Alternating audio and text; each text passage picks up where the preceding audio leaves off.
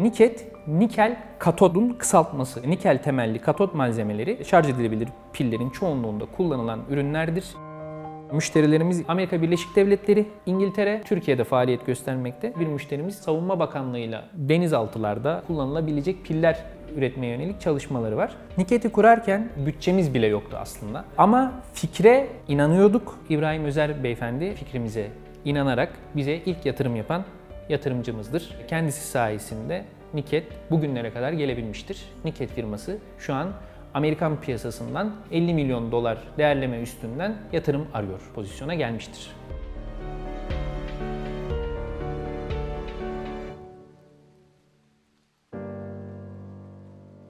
Niket'in üretmekte olduğu katot malzemeleri Türk savunma sanayindeki üreticiler tarafından kullanılabilecek kalitede ürünlerdir ki müşterilerimiz de bu alanlarda faaliyet göstermektedir. Şu an hali hazırda ki müşterilerimizin önemli bir çoğunluğu savunma sanayinde.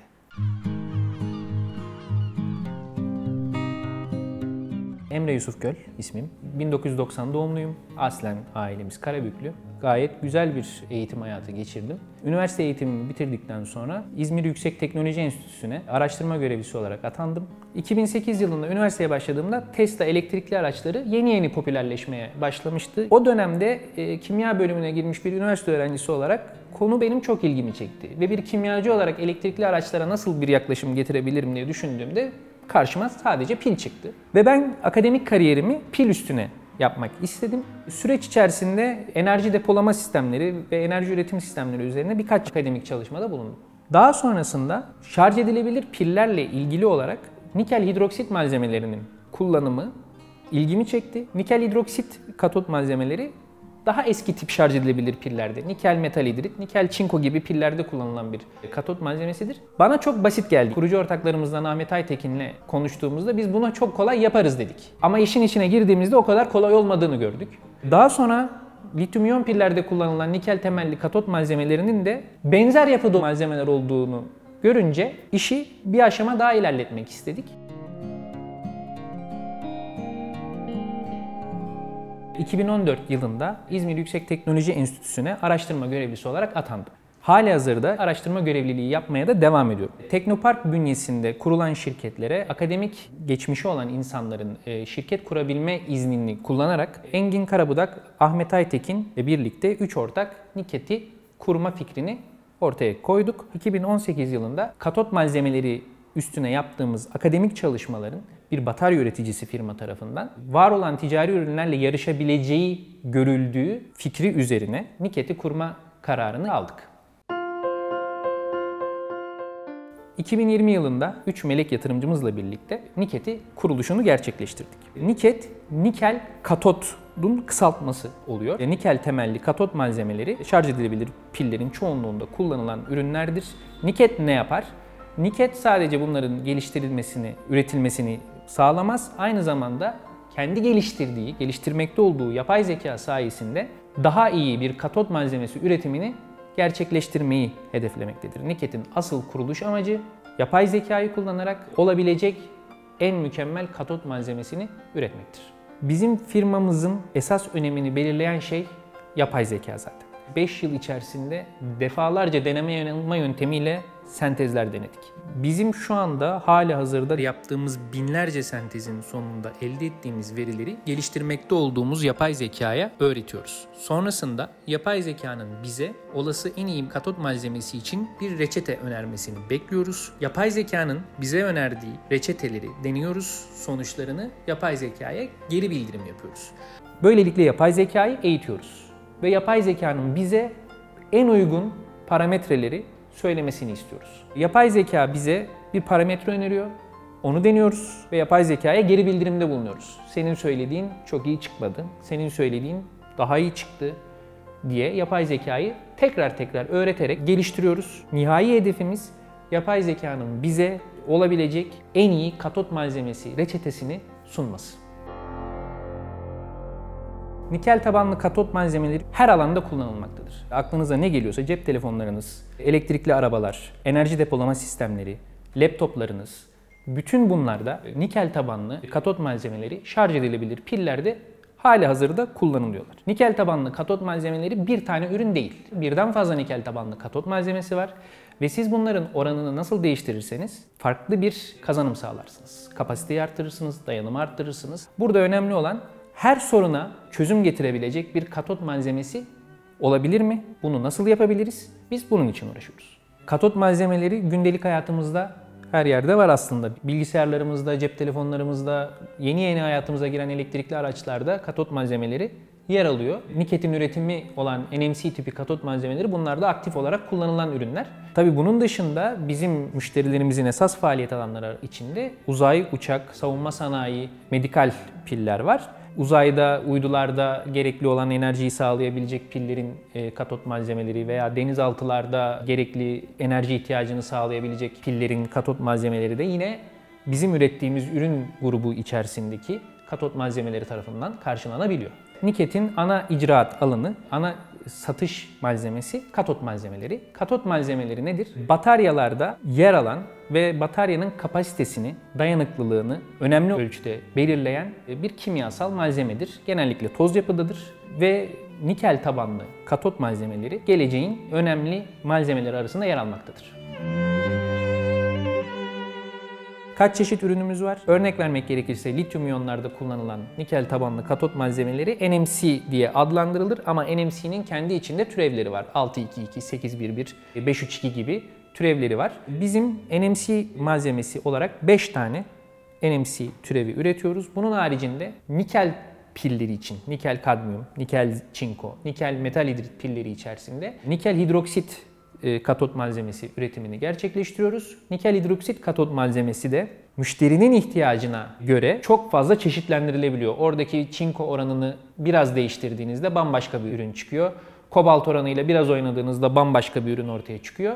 Dolayısıyla nikel hidroksitte de en azından bir 5-10 tane diyebileceğim bir ürün skalası var. Bunun haricinde diğer katot malzemelerinin de argesine başlamış bulunmaktayız. 2022 yılında pilot üretim tesisimizi devreye sokmuş bulunmaktayız. Bizim yıllık üretim kapasitemiz şu an itibariyle 3 ton.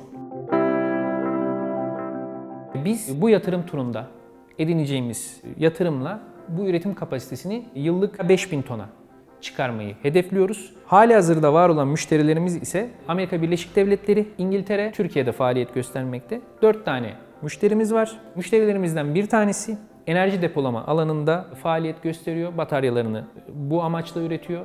Diğer bir müşterimiz Savunma Bakanlığı ile beraber projeler yürütüyor ve bu projeleri sonunda denizaltılarda kullanılabilecek piller üretmeye yönelik çalışmaları var.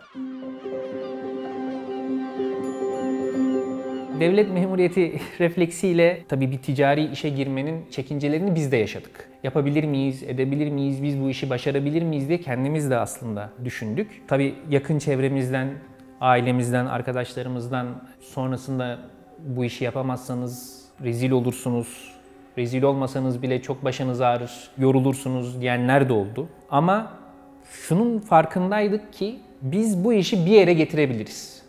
Bunu yapabileceğimize inandığımız için biz bu işin peşini bırakmadık.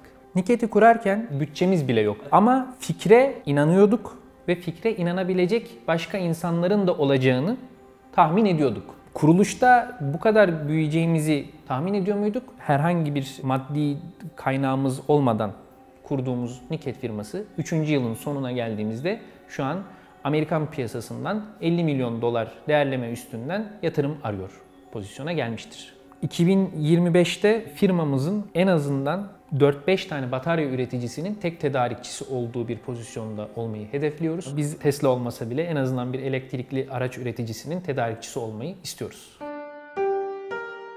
Bizim Escort Teknoloji Yatırım İştiraki Alesta ile tanışmamız 2020 yılında Keiretsu Forum aracılığıyla oldu. İbrahim Özer beyefendi bizim fikrimize inanarak bize ilk yatırım yapan yatırımcımızdır. Kendisi sayesinde Niket bugünlere kadar gelebilmiştir. Niket'in toplamda 7 yatırımcısı bulunmaktadır. 2020 yılında İbrahim Bey ve Alesta Yatırım, Figen Korun hanımefendi, BVA Mümessillik ve Mina Hanım 3 melek yatırımcı Niket'in kuruluşuna çok büyük katkı sağlamışlardır. Daha sonrasında melek yatırımcılarımızın da verdiği güvenle kurumsal firmalar Yeo Teknoloji ve KT Portföy Lonca Girişim Fonu Niket'e yatırımcı olmuşlardır. Globalde de Singapur merkezli Hatcher Plus ve ABD merkezli Sente VC Niket'in yatırımcılarıdır. Her şey böyle anlık değişebiliyor startup dünyasında.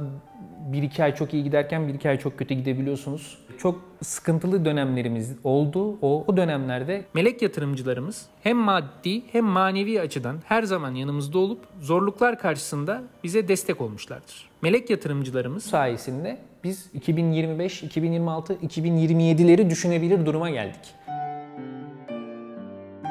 Girişimci olmak çok zor. Sürekli olarak çalışmanız lazım. Sürekli bir koşuşturma içerisinde olmak gerekiyor. Yani bir hafta mola verdiğinizde önemli bir zamanı kaybetmiş oluyorsunuz. Şu gün dinleneyim dediğinizde o gün siz dinlenirken sizin yerinize çalışacak birinin olması lazım. Sürekli işin içerisinde olmak zorundasınız. Türkiye'de girişimciler bir startup'a yatırım yaparken neye dikkat etmeli derseniz öncelikle fikrin ne kadar ciddi olduğuna bakmalılar. Daha sonrasında fikri yapacak ekibin bu fikrin altından kalkıp kalkamayacağını araştırmalılar. Üçüncü aşamada ise bu ekibin yaşayabileceği, karşılaşabileceği çeşitli zorluklarda onlara hani bir aileden biri gibi davranıp gerekli motivasyonu kaybetmemeleri için biraz bir çaba sarf etmelerinde fayda var. Biz bunu kendi yatırımcılarımızda gördük. Bizim sorun yaşadığımız yerlerde bize manevi açıdan da destek oldular. Tabii parasız olmuyor bu işler ama fikirsiz de olmuyor. Dolayısıyla ben kendi açımdan 50-50 diyebilirim. İyi bir fikir yetersiz sermaye ile çok harcanır. Yeterli sermaye kötü bir fikirle de heba olur. Dolayısıyla %50 %50. Her iyi fikir her zaman iş yapmaz. Dolayısıyla trendleri de takip edebilmeli o girişim fikri. Dünyanın şu an karşılaştığı önemli sorunlar, enerji sorunu, iklim sorunu gibi mevzularda yani şu an herkesin de bildiği üzere temiz enerji, yenilenebilir enerji enerji depolama sistemleri revaçta. Bunun dışında yapay zeka da önemli ölçüde gündemde şu an.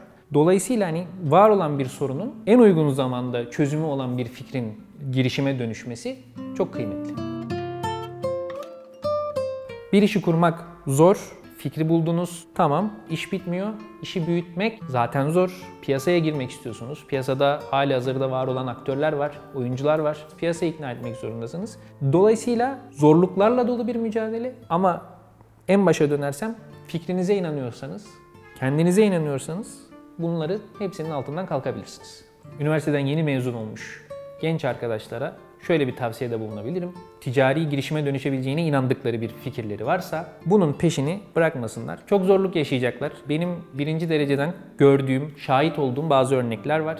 Çok uzun süre çaba sarf edip bu iş artık olmayacak diye çevrelerinden duymalarına rağmen işin peşini bırakmayıp sonunda işlerini çok büyüten genç girişimci arkadaşlar var. Dolayısıyla bir fikre inanıyorsanız ilk başta zorluk yaşayacaksınız.